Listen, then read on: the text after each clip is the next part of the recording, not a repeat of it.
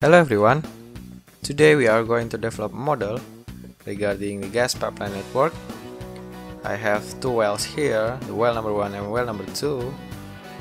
You can see here the temperature and the mass flow and we can leave the pressure as it is since the HYSYS will calculate this pressure and you can see the composition you can try to specify the composition. You can use the following data. For the well number 2 the temperature is 40 centigrade as well but the mass flow is 8000 kilogram per hour. And for the composition you can use this data. You can try it in your simulation I also prepared the EG inhibitor stream here because in the next video I will try to demonstrate the addition of EG inhibitor to suppress the hydrate that possibly appear or present in our gas pipeline network. In this video, the EG inhibitor is still not added into our gas pipeline network and we will use the pure EG inhibitor here. In the beginning, I also have specified the component list, same with the composition as I shown before, and also I choose the Peng Robinson fluid package. In the beginning, we can connect our stream to the subflow sheet. And for the outlet we can choose the two plug from here can see the stream already appear in our subflow sheet. And we can arrange the position of the stream.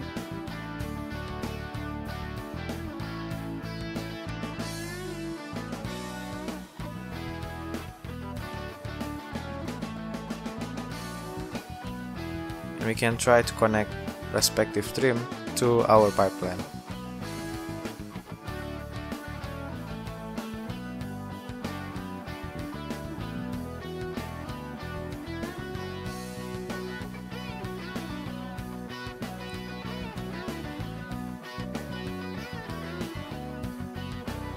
Then we can connect the gas from the well number 2 and commingle with the well number 1 here in the mixer 100. Subsequently, we can connect the EG inhibitor to the pipelines as well, but actually in this video, the EG inhibitor is still not present in our pipeline since we just specify the EG inhibitor for 0.1 kg per hour. So after we connect respective pipe segment and commingle the well number 1 and well number 2, we can specify the pipe dimension in the design and then we can go to the data page and we can choose the actual option here. We can specify the data that's shown in the table approximately 200 millimeter. The wall thickness is 2 millimeter and the length you can specify as shown in the respective table here. And you can choose the mild steel for our pipeline material. And the roughness we can keep it as it is. For the flow correlation we can choose Tulsa unified model with three phase because actually the gas water and liquid are present in our gas pipeline network or gas pipeline system then we can add the heat transfer property. You can choose the estimate heat transfer coefficient here and you can specify the external medium condition. As you can see here the temperature is 0 centigrade with ambient medium is water and so on. And you can choose the pipe wall ensure the selected material is the mild steel because we require the thermal properties data to calculate heat loss that occur during the gas transfer process. and after we specify all the data that required here we can go to the main flow sheet and we can specify the constraint for the inlet we can select the flow constraint and for the outlet we can select the pressure constraint. It means that we can we will perform the back pressure calculation.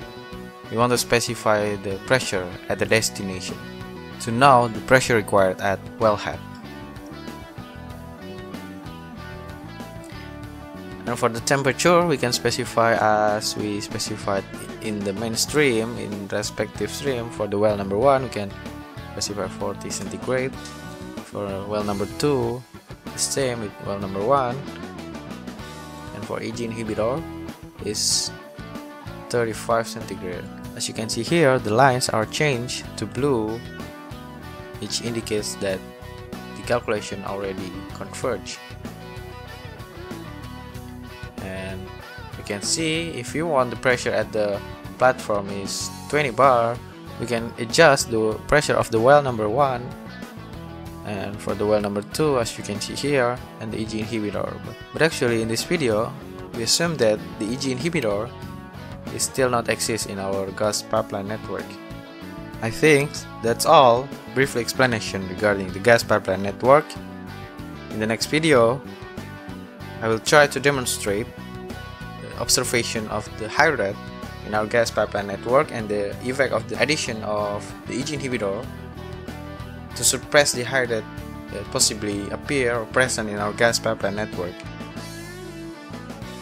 Thank you for watching this video. I hope this video is useful. See you in the next video.